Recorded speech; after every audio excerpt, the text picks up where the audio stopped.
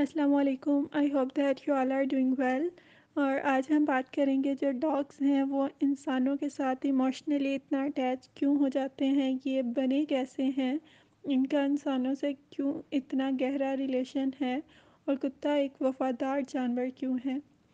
तो ये सब बातें जानने के लिए पहले तो मेरी आप सबसे रिक्वेस्ट है कि प्लीज़ मेरे चैनल को सब्सक्राइब करें और वीडियो को लाइक करिएगा।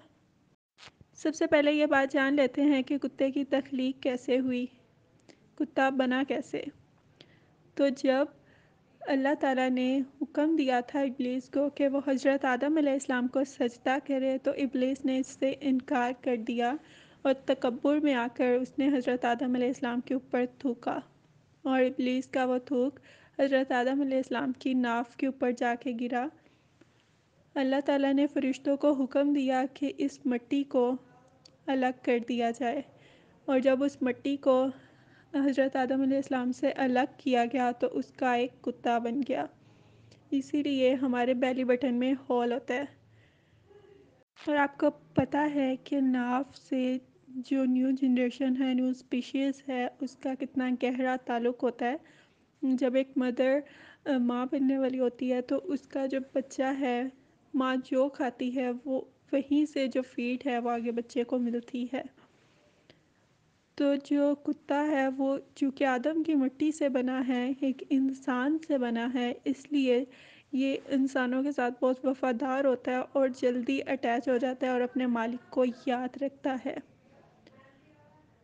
आदम की मिट्टी कभी पलीत नहीं हो सकती तो कुत्ता एक अच्छा जानवर है और ये जन्नत में भी होगा।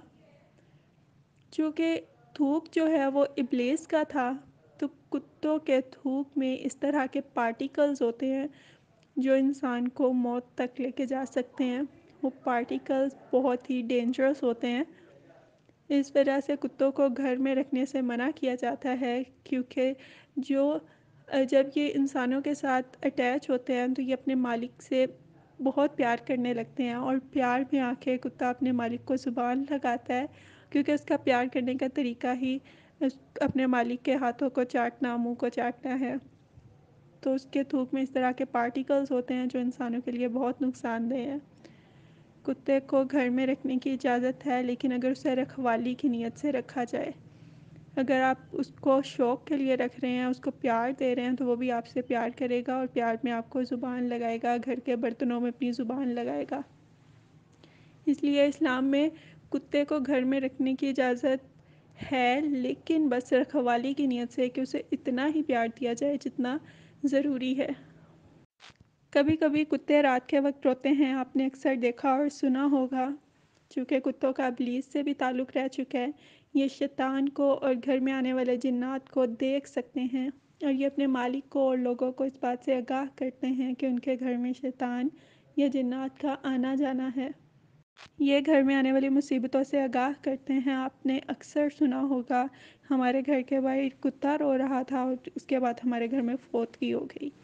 तो ये तो आपको आगाह कर रहे होते हैं कि आपके घर में कोई बड़ी मुसीबत आने वाली है, अपना सदका दें, अप, ज़क़़त दें। लेकिन लोग बदले में क्या करते हैं, कुत्ते को रोता देखकर उसी को पत्थर मारते हैं, उसी को भगाते हैं, जबकि वो कुत्ता तो आपकी मदद कर रहा है। कुत्ता एक जानदार जानवर है, उसको भी दर्द होती है, वो भी अपना दर्द खुदा के आगे बयान करता है। तो प्लीज़ इनको इस तरह से हर्ट नहीं किया करें।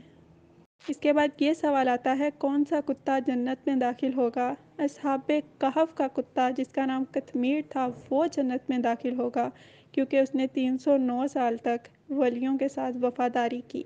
कुत्ता एक वफ़ादार जानवर है इसीलिए मैंने पहले भी बताया कि इसको रखवाली की नीयत से रखा जा सकता है घर में।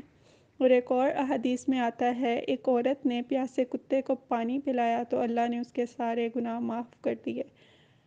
तो जहाँ इनको घर में रखने से मना किया जाता है, वहाँ दूसरी तरफ़ कुत्तों से प्यार करने का हुक्म भी है।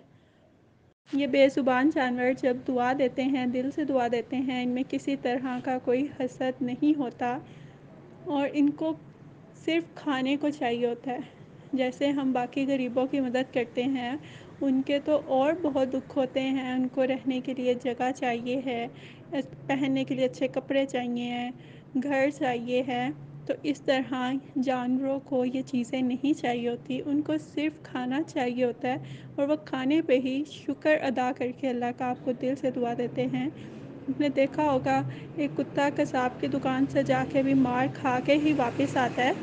तो इसलिए जहाँ आप दूसरे जानदारों की, इंसानों की मदद करते हैं तो आप कुत्ते को रात के वक़्त अगर खाना डाल दिया करें तो इसका बहुत अजर है। Thank you. अगर मेरी वीडियो आपको पसंद आए तो इसको लाइक और सब्सक्राइब ज़रूर करिएगा।